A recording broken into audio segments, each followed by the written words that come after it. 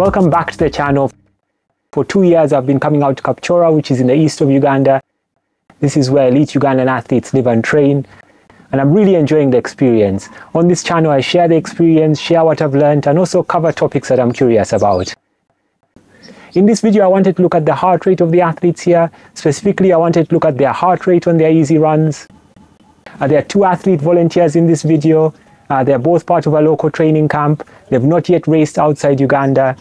Uh, there's Kevin, who's recently run a half marathon personal best of uh, 64 minutes. And there's Leonard, who has a 5K personal best of 1409.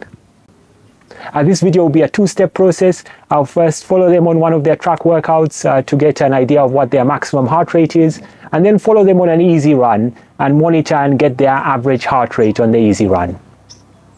Heart rate is a useful tool for training. Uh, I've been personally using heart rate training since 2021. I use it as a way of keeping my easy runs easy, as a way of building my endurance. The resources I've read and watched give advice about keeping your heart rate in zone 2, which is on the 5 zone heart rate scale, keeping your heart rate between 60 and 70% of your maximum heart rate. Another method was devised by Maffetone, which is using the maximum aerobic function, which is 180 minus your age. In my case, 180 minus, uh, 33, 147 as the maximum heart rate on, on your easy runs. And it's a work in progress. I found that I was having to run a lot slower in order to get those heart rates on my easy run, but I have seen the benefits. In the first three, four months of heart rate training, I saw my 10K personal best go from about 38 minutes, 35 minutes. And there are other ways that heart rate is useful in training. One is to ensure that you're hitting the right intensities in your speed workouts. Another way is to monitor your progress. If your heart rate's lower on similar paced runs over time, then you know that your endurance is getting better, that your aerobic base is improving. So before I move on to looking at the athletes, I was interested to know, are you using heart rate in your training? If so, what heart rates do you uh, target in your easy runs? How else you, do you find heart rate useful in your training? Let me know, comment down below.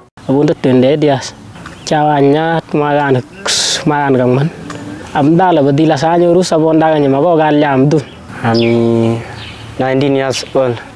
I've been running for the last three years. When you, when I, when I was growing, I see those of Joshua and Jacob running, so he also they let me run. So I started out by using my GPS watch to monitor my heart rate, but over time I've transitioned to using more accurate methods. So I tried a chest strap, uh, but I found it quite uncomfortable. Recent I've started using an arm heart rate band, which, which is comfortable and according to the company quite accurate. And we'll be using these in, in the video as well. And the arm bands connect to the GPS watches, which then allows us to, to analyze the results. So as far as I'm aware, the athletes aren't really using uh, heart rate with their training. Uh, those with GPS watches are aware that they, the watch has the function of checking their heart rate, uh, but they tend to focus on other metrics. I have done a video where I spoke to athletes about their running watches and they spoke about looking at their distance, time and pace as the main functions of using their running watches. They will run in groups and follow the pace of the group and that's how they determine how to run their easy runs.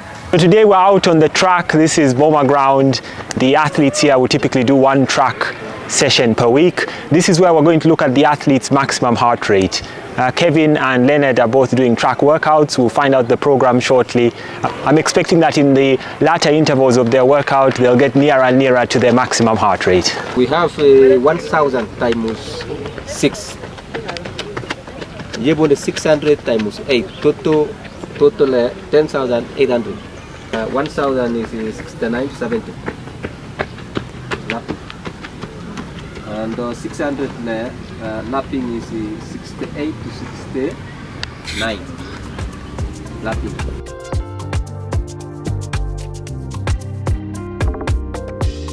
Ala zala batumbajaga pi singa dena mbagore newo nganyo yor mbatubuke kwani giga cyagugalya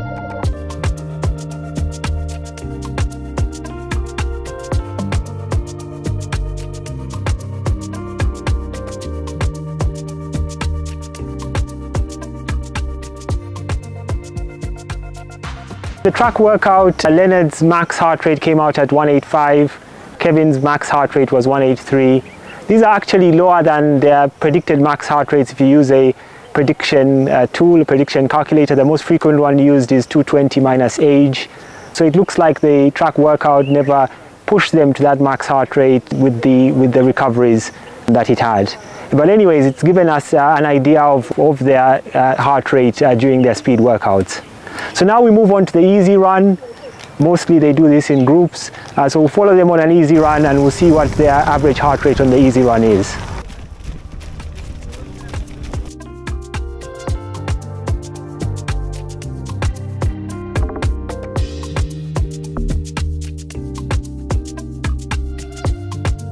Chubetokei wa gruput omise lomi kibetoi biik cho cho chebunde kam kam nyemi bunde sawet kinyawete gruput